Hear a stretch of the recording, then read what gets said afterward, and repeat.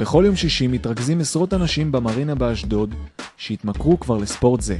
בניגוד למשחק כדורגל רגיל, ישנם חמישה שחקנים בכל קבוצה, עשר דקות מחצית, ולאחר הפקעת שער המשחק יחודש ממרכז המגרש. אגב, בזמן המשחק אסור להחזיק בכדור יותר מחמש שניות. כדורגל במים זה למעשה משחק אחר לחלוטין. אנחנו משחקים כמו שאתה רואה בקייקים, אה, מתנועים בעזרת משוטים. החוקים הם חוקים אה, שונים לחלוטין, חלקם אה, שאובים מכדורגל, חלקם שאובים מפולו מים, חלקם שאובים מכדורסל. משחק הפולו קריאק למעשה יש בו שילוב מנצח. למה? כי יש בו את כל האלמנטים של כיף. יש לך גם ים, גם שמש, גם כדור, גם שערים. יש לך גם יכולת אישית, גם הרבה מאוד אקסטרים, אתה נלחם, אתה מתהפך וכולי. זה אשכרה משחק, מה שנקרא משחק של ווינרים, להכניס כמה שיותר כדורים לשער. העיקרון הוא כמובן להכניס שערים, ויש המון חוקים של בטיחות בשביל שהשחקנים לא ייפגעו. אסור לנו לגעת ביריב עם משות, לחלוטין, בוודאי לא להרביץ. חורף, קיץ, גשם, רוחות, סערות, מתי שיש אנחנו במים. אנחנו לא מוותרים על התענוג.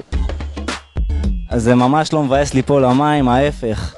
זה פשוט מרענן, קצת מדוזות, קצת מים קרים, פשוט אה, חוויה נהדרת, כולם באים לפה כל שבוע ונהנים כל פעם מחדש. ברגע שאנחנו מגיעים לכאן, אין לנו את המרדפים, אין לנו את העבריינים, אין לנו את הפושעים, לא פלאפון, לא ביפר, לא הקפצות, לא כלום. אני, הקיה, קיים והחברים. וזה הכיף.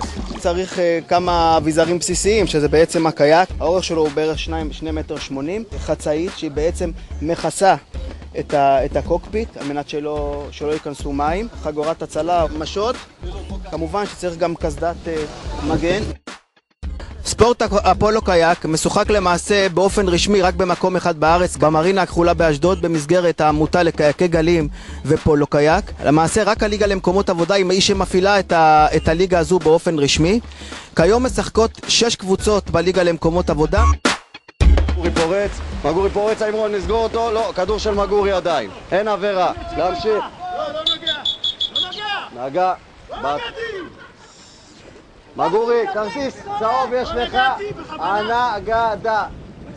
אני רואה מפה. יש לך כרטיס צהוב, אני אוציא אותך. מה למה? אתה ראית שלא נגעתי, עזבתי את הכל. מגורי, אזהרה אחרונה.